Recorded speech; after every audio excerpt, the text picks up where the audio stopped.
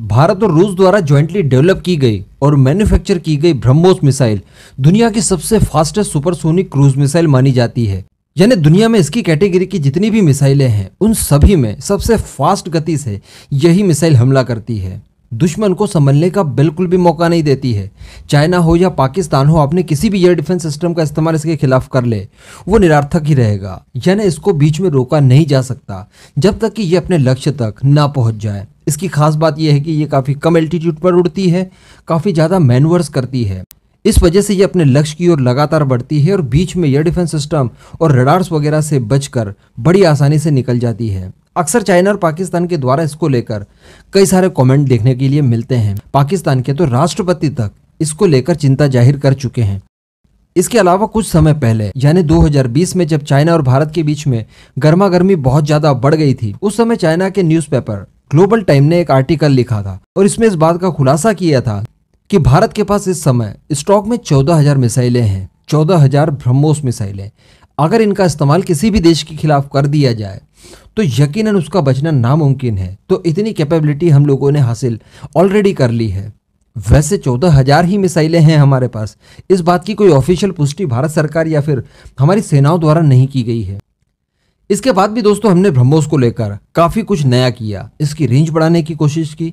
किसी जमाने में हम एमटीसीआर के सदस्य नहीं हुआ करते थे। उस समय इसकी रेंज हमें मजबूरन 300 किलोमीटर की बिलो रखनी पड़ी। लेकिन अब चूँकि हम लोग एमटीसीआर के सदस्य बन चुके हैं तो अब इसकी रेंज जितनी चाहे उतनी हम लोग बढ़ा सकते हैं। इसलिए हमने सबसे पहले इसकी रेंज साढ़े चार सौ किलोमीटर की और उसके बाद पंद्रह सौ किलोमीटर करने की कोशिश की जा रही है।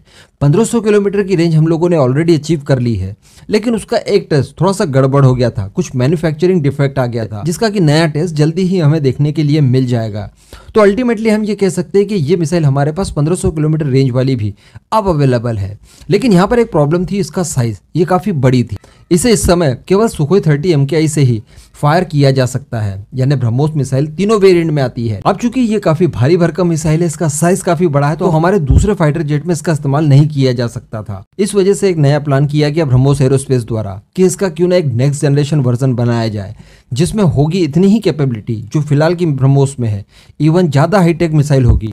लेकिन इसका साइज़ भी इस हिसाब से कॉम्पैक्ट किया जाएगा, उसे छोटा बनाया जाएगा और एक नई जनरेशन की, यानी नेक्स्ट जनरेशन ब्रह्मोस मिसाइल का निर्माण किया जाएगा, जिसे कि हम हमारे दूसरे फाइटर जेट में भी बड़ी आसानी से इस्तेमाल कर पाएँगे। लाइक रफाल हो गया तेजस हो गया टेड बीएफ हो गया, कुल मिलाकर सभी फाइटर जेट में उसका इस्तेमाल किया जा सकेगा। इसी के साथ साथ एयर लॉन्च मिसाइल की एक्सपोर्ट वैल्यू भी बहुत ज़बरदस्त रहने वाली है और काफ़ी देश इसमें इंटरेस्ट दिखा चुके हैं।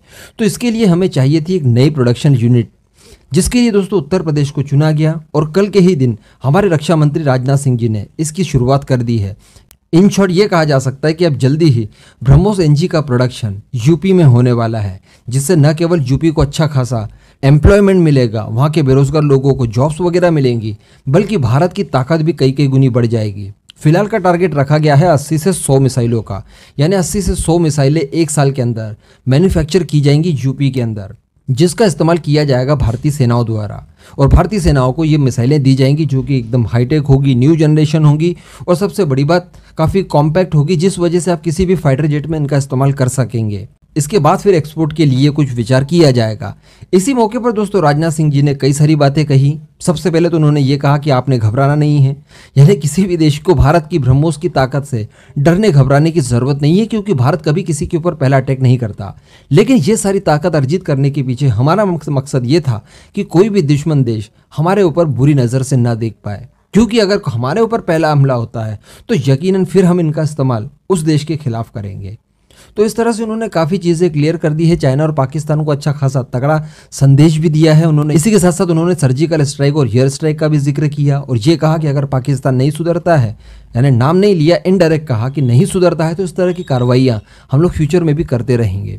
तो दोस्तों, इस पूरे मुद्दे पर आपका जो भी मानना हो, नीचे कॉमेंट करके ज़रूर बताइएगा।